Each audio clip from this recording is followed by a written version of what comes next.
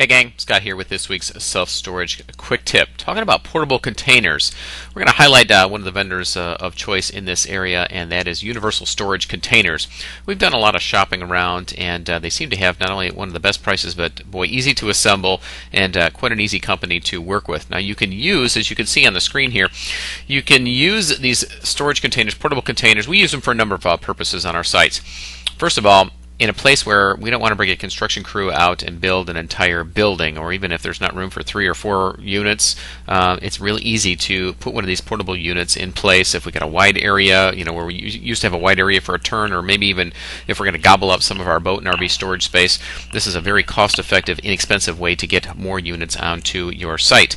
Now, you can also set up an instant office with these things. As you can see here, if you don't want to build an office, if you buy a facility that may be a little bit smaller, never had an office uh, to begin with, and you're wanting to have a presence in an office on site, uh, you can open up a mini office even without air conditioning. And on a day like today, I got to tell you, that would be kind of nice to be uh, stuck in one of those cooling boxes without my own air conditioner and uh, working out of that at this point.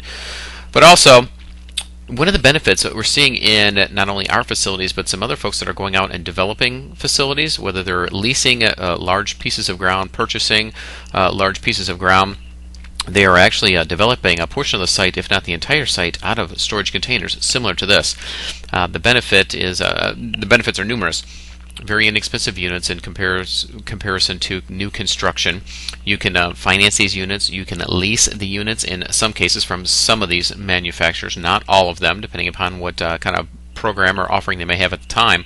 Uh, but one of the big, bigger benefits in my book is that also, in a lot of areas, depending upon the town, the county, the municipality in which your facility is located, because these are portable and they're not fixtures, they are not uh, made part of the ground, they are not uh, added to cement blocks and or built into the ground.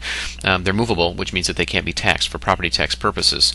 So you can add some additional square footage. You can perhaps develop your entire self-storage facility with these portable containers, uh, but not have the high expenses of property taxes, construction costs, and everything that goes into traditional um, developed uh, self-storage facilities. So, obviously there's a lot more to it than that and uh, more to come uh, more than we can handle in this week's uh, self-storage quick tip but if you do want more information on uh, not only this type of business but in the storage business in general head on over to selfstorageinvesting.com pull down some of our free reports, other articles, other video training series that we have, my free ebook, uh, a wealth of information, and uh, for you to get into the business and also to maximize your operations, marketing, and all facets of the self storage business. So head on over, selfstorageinvesting.com. We'll see you over there.